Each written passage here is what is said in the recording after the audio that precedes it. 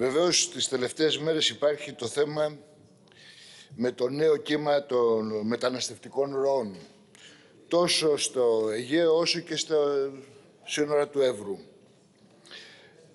το οποίο βεβαίως το αξιοποιεί ο κύριος Ερντογάν. Η κυβέρνηση μιλάει για ασύμετρες απειλές. Όμως δεν απαντάει, όχι μόνο η κυβέρνηση, αλλά και τα άλλα κόμματα. Ποιος είναι αυτός που ξεριζώνει τους πρόφυγες και τους μετανάστες; Μήπως είναι η βαρβαρότητα του καπιταλιστικού συστήματος που τους ξεριζώνει; Μήπως είναι οι υπεριαλιστικές επεμβάσεις που γίνονται στη Μέση Ανατολή και στην Αφρική που οδηγούν στο ξερίζωμα εκατομμυρίων κόσμου; Και στο οποίο σε αυτές οι υπεριαλιστικές επεμβάσεις της Ευρωπαϊκής Ένωσης, του ΝΑΤΟ, των Ηνωμένων Πολιτειών, η Ελλάδα συμμετέχει ενεργά; Είτε μέσα των υποδομών των οποίων διαθέτει στους υπεριαλιστικούς οργανισμούς, είτε μέσω των αποστολών που κάνει εκτός συνόρων, των στρατιωτικών αποστολών εκτός συνόρων. Άρα να το κρατούμενο είναι αυτό. Συγκεκριμένοι τους ξεριζώνουν. Δεν φεύγουν από μόνοι τους. Δεύτερο στοιχείο. Ποιος τους εγκλωβίζει στην Ελλάδα, ποιος έχει μετατρέψει την Ελλάδα σε φυλακή ψυχών, η αντιμεταναστευτική πολιτική της Ευρωπαϊκής Ένωσης. Η απαράδεκτη συμφωνία του Δουβλίνου και η απαράδεκτη συμφωνία ανάμεσα στην Ευρωπαϊκή Ένωση και στην Τουρκία. Αυτή είναι η πέτη που έχει μετατρέψει την Ελλάδα σε αποθήκες ψυχών. Και επί της ουσίας, βεβαίως, ο κύριος Ερντογάν το έχει δηλώσει, το έχει δηλώσει και στο παρελθόν, ότι θα αξιοποιήσει τους μετανάστες και τους πρόσφυγες που υπάρχουν στην Τουρκία για να απειλήσει, να εκβιάσει, να διεκδικήσει και να απαιτήσει.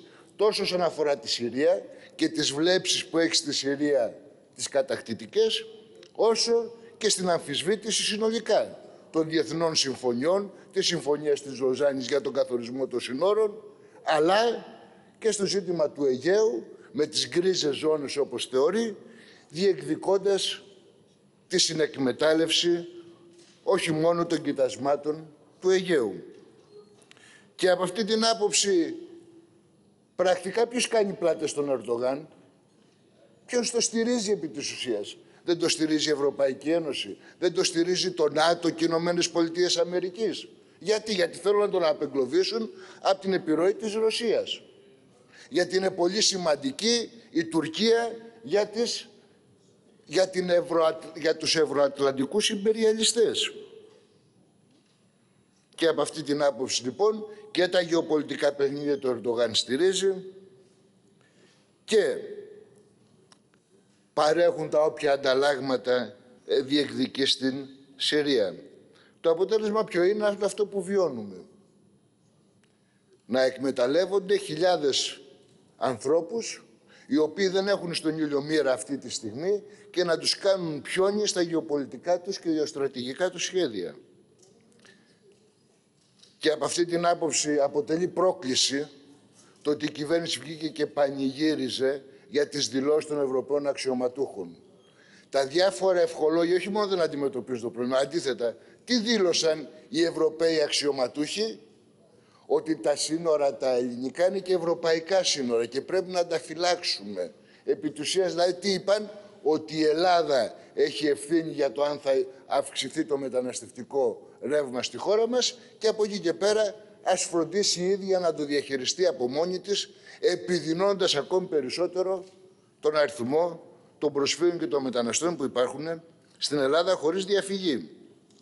Και από αυτή την άποψη εμείς το λέμε καθαρά, ότι οι εκκλήσεις και του κινήματος αλλαγής αλλά και του ΣΥΡΙΖΑ περί εθνικής ομοψυχίας και περί ενός σχεδίου διαχείρισης στις συμπληγάδες που έχει διαμορφώσει η πολιτική της Ευρωπαϊκής Ένωσης με το Δουβλίνο και τη Συμφωνία Ευρωπαϊκής Ένωσης Τουρκίας δεν μπορεί να υπάρξει.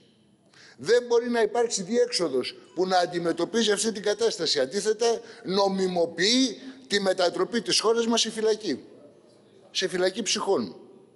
Έτσι λοιπόν από αυτή την άποψη αυτό το οποίο προέχει είναι το προαπαιτούμενο είναι εδώ και τώρα να αμφισβητηθεί αλλά και να υπάρχει σύγκρουση από μεριά της ελληνικής κυβέρνησης με τη Συμφωνία του Δουβλίνου. Να μην την εφαρμόσει τη Συμφωνία του Δουβλίνου η ελληνική κυβέρνηση. Να μην αποδεχθεί τη Συμφωνία μεταξύ Ευρωπαϊκής Ένωσης και Τουρκίας. Και εδώ παίζεται και ένα άλλο παιχνίδι. Ποιο είναι αυτό, ότι αξιοποιούνται από διάφορους οι ακροδεξιές πρακτικές και φρασιολογία το τελευταίο διάστημα και ακροδεξιά φρασιολογία. Και όποιος στηρίζει αυτές τις ακροδεξιές πρακτικές και, ε, και φρασιολογία σπέρνει ανέμους και θα θερήσει θύελες στο επόμενο χρονικό διάστημα.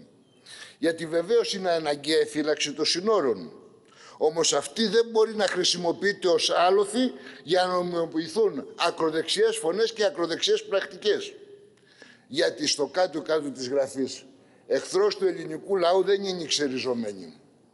Δεν είναι τα θύματα της καπιταλιστικής βαρβαρότητας και του υπεριαλισμού. Εχθρός ακριβώς είναι αυτές οι πολιτικές που τους έχουν οδηγήσει στο ξερίζωμα.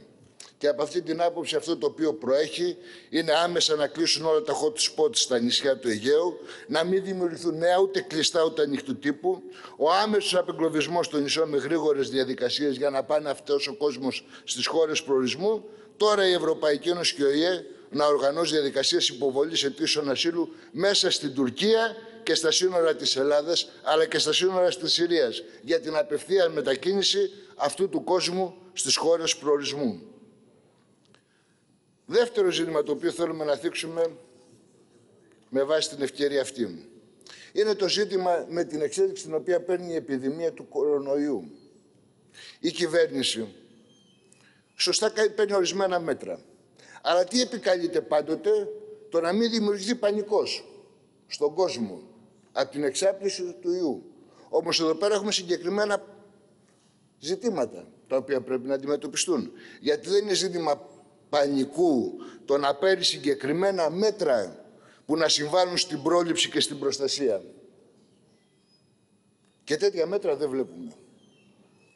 Ή μάλλον αυτά τα μέτρα τα οποία παίρνει είναι αποσπασματικού χαρακτήρα, δεν αντιμετωπίζουν το πρόβλημα και σε ορισμένες περιπτώσεις μπορεί και να το επιδεινώσουν κιόλας. Και τι λέμε, το πρώτο και βασικό μέτρο το οποίο απαιτήσαμε και ως κόμμα, στεκόμαστε με σοβαρότητα απέναντι στην κυβερνητική πολιτική για το συγκεκριμένο ζήτημα, είναι το εξής. Είναι οι τεράστιες ελλείψεις οι οποίες υπάρχουν σε ανθρώπινο δυναμικό στα νοσοκομεία, στα κέντρα υγείας, στην πρωτοβάθμια φροντίδα υγείας που θα επιδεινώσει η εξάπλωση της επιδημίας αυτές τις τεράστιες ελλείψεις. Και το πρακτικό αποτέλεσμα φάνηκε. Σε καραντίνα επί της ουσίας μπήκε με το κρούσμα το οποίο ξέσπασε στην Πάτρα το νοσοκομείο αναφοράς, το μοναδικό νοσοκομείο αναφοράς στη Δυτική Ελλάδα. Μπήκε σε καραντίνα. Η πρώτη παθολογική κλινική έκλεισε καμιά δεκαπενταριά, είκοσι πώς είναι εργαζόμενοι γιατροί, νοσηλευτικό και παραϊατρικό προσωπικό, μπήκαν σε καραντίνα, βγήκαν, αποσύρθηκαν τελείως από αυτή τη διαδικασία. Δεν κάνει εφημερίες στο νοσοκομείο του Ρικηβού, γίνονται εφημερίες στο νοσοκομείο του Αγιαντρέα. Το οποίο λειτουργεί κάτω από τα όρια ασφαλείας. Με τις υπάρχουσες συνθήκες, όχι να είναι σε μόνιμη εφημερία. Καταλαβαίνει λοιπόν τι φοβερή επιβάρηση υπάρχει στο ανθρώπινο δυναμικό και τι επιπτώσεις θα έχει αυτό. Και τέτοιου είδους ζητήματα δεν βλέπουμε να ευαισθητοποιούν την κυβέρνηση. Δηλαδή δεν είναι ζήτημα προτεραιότητας η δημόσια υγεία. Γιατί λοιπόν δεν ξεφεύγεται από τις διαδικασίες που καθυστερούν όλοι για άλλα ζητήματα κατά παρέκκληση των κείμενων διατάξεων έρχεστε εδώ πέρα και φέρνετε τροπολογίες. Για να καλυφθεί με το απαραίτητο ιατρικό και νοσηλευτικό προσωπικό τα νοσοκομεία άμεσα. Δεν είναι πρώτο θέμα στις συγκεκριμένες συνθήκες. Εμείς λέμε ότι είναι πρώτο θέμα. Δεν είναι πρώτο ζήτημα προτεραιότητας, για παράδειγμα, να ανοίξουν όλες οι ΜΕΘ, οι οποίες παραμένουν κλειστέ λόγω έλλειψης νοσηλευτικού και ιατρικού προσωπικού. Είναι πρώτης προτεραιότητας. Γιατί δεν κάνετε κατά παρέκκληση των κείμενων διατάξεων; Γιατί δεν προχωράτε στην επαναλειτουργία του νοσοκομείου του Θώρακα στην Πάτρα, εξειδικευμένο νοσοκομείο και για τέτοιου ζητήματα, το οποίο το κλείσε η κυβέρνηση του ΣΥΡΙΖΑ και το συγχώνευσε με τον Αγιαντρέα. Γιατί δεν προχωράτε άμεσα στην επαναλειτουργία του; Γιατί δεν παίρνετε μέτρα να αντιμετωπιστούν οι τεράστιες ελλείψεις οι οποίες υπάρχουν σε αναλώσιμα και που οι ελλείψεις τεχνητά ανεβάζουν τη ζήτηση και μπορεί να γίνει και η κερδοσκοπία. Αλλά υπάρχουν και άλλα προβλήματα τα οποία δεν τα αντιμετωπίζει η κυβέρνηση και τα οποία είναι υπαρκτά. Για παράδειγμα, στην, στην Αχαΐα, στην Ηλία και στη Ζάκυνθο κλείσαν όλα τα σχολεία από τους βρεφονιπιακούς σταθμούς μέχρι τα πανεπιστήμια για δύο μέρες προσωρινά. Τα παιδιά που στέλνουν οι εργαζόμενοι στους βρεφονιπιακούς σταθμούς που έχουν κλείσει, ποιος θα τα φυλάξει; Τι μέτρα παίρνει για τους εργαζόμενους οι οποίοι έχουν τα παιδιά τους ευρωολυμπιακούς σταθμούς που έχουν κλείσει; Θα πάρουν άδεια από την εργασία; Θα δικαιολογηθεί αυτή η άδεια; Θα έχουν αποδοχές για αυτό το χρόνο το οποίο είναι αγκασμένοι να λείψουν.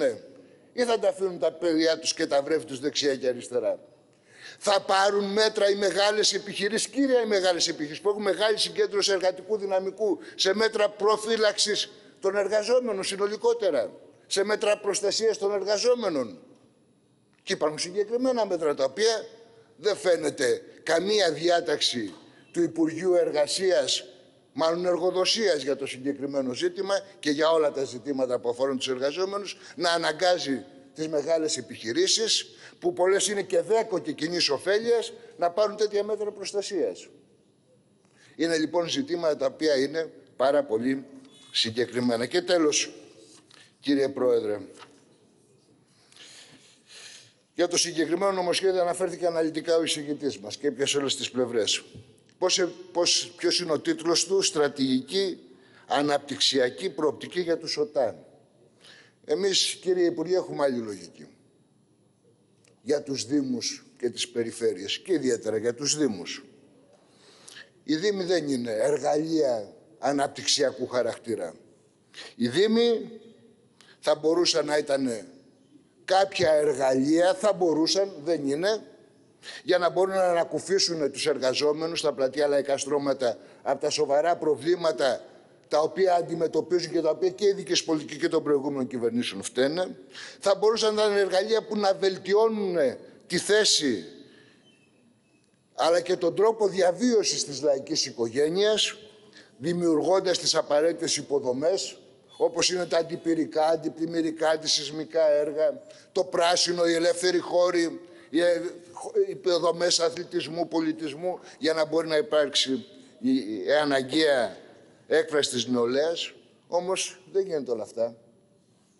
Ποια είναι η προτεραιότητα της κυβέρνησης και των προηγούμενων βεβαίως, δεν αφήσουν. Γιατί όλες οι μεταρρυθμίσεις από τον Καποδίστρα, τον Καλλικράτη και όλους τους υπόλοιπους θέλαν όλο και μεγαλύτερη σύμφυση των Δήμων ως μηχανισμών κρατικών σε επίπεδο Δήμων να, να, είναι, να είναι αποτελεσματικά αναπτυξιακά εργαλεία να μετατραπούν. Για να γίνει τι να γίνει δηλαδή, για να προωθήσουν τους σχεδιασμούς και τις ιεραρχίες και τις προτεραιότητες που καθορίζει η αστική τάξη για τη χώρα μας. Άρα να γίνουν πιο αποτελεσματικά εργαλεία που θα οδηγήσουν σε μια ανάπτυξη η οποία έχει ως προϋπόθεση, η οποία πατάει πάνω στα συντρίνια των εργατικών δικαιωμάτων, με εργαζόμενους στην ανασφάλεια, με πολύ χαμηλούς μισθούς, η οποία ανάπτυξη κάνει τον πλούσιο πλουσιότερο και το φτωχό φτωχότερο και διευρύνει την ψαλίδα ανάμεσα στις πραγματικά μεγάλες δυνατότητες για να ικανοποιηθούν οι λαϊκές ανάγκες και στον επίπεδο διαβίωσης της λαϊκής οικογένειας, που τη ζητάτε να επιβιώνει με ορισμένα ξεροκόμματα και με φιλανθρωπία. Έτσι λοιπόν, σε αυτή τη λογική έχουμε οδηγηθεί οι Δήμοι να είναι αποψηλωμένοι από το ανθρώπινο δυναμικό που είναι απαραίτητο, το επιστημονικό δυναμικό, το τεχνικό δυναμικό, το εργατοϊπαλληλικό δυναμικό και με μια ισχυρή χρηματοδότηση από τους κεντρικούς αυτοτελείς πόρους για να μπορέσουν να γίνουν εν της πράγμασης το απαραίτητο μηχάνημα στο να κυλήσει στο να λειτουργήσει η καπιταλιστική ανάπτυξη, ως εργαλείο της καπιταλιστικής ανάπτυξης. Έτσι λοιπόν, πατώντας αυτά τα προβλήματα που ήδη δημιουργήσατε, μετατρέπετε τους Δήμους σε όλο και, ε, ε, όλο και περισσότερο σε σύμφυση με τους επιχειρηματικούς ομίλους μέσα από τις συμπράξεις δημόσιου και ιδιωτικού τομέα, συμπράξεις οι οποίοι οδηγούν στην εμπορευματοποίηση, στην ιδιωτικοποίηση των παρεχόμενων υπηρεσιών προς τα λαϊκά στρώματα, με ένα εργατοϊπαλληλικό δυναμικό πολλαπλών ταχυτήτων και σχέσεων, αναλώσιμο, χωρίς δικαιώματα και βέβαια μετατρέποντάς σε ένα φοροεισπρακτικό μηχανισμό για να μπορεί να έχουν τους ίδιους πόρους. Αυτή είναι η δική σας λογική. Εμείς είμαστε απέναντι σε αυτή τη λογική. Είναι μια λογική η οποία μετατρέπει τους Δήμους σε ανώνυμες εταιρείες και το Δήμαρχο σε διευθύνοντα σύμβουλο. Και από αυτή την άποψη είναι φυσιολογική εξέλιξη ο Δήμαρχος να μην λαμβάνει υπόψη του τις αποφάσεις του Δημοτικού Συμβουλίου. Από αυτή λοιπόν την άποψη, ε, κύριε Πρόεδρε, το Κομμουνιστικό Κόμμα Ελλάδας δεν μπορεί να συμπράξει σε τέτοιου είδους λογικές και ακριβώς καταψηφίζουμε το συγκεκριμένο νομοσχέδιο του Υπουργείου Εσωτερικών.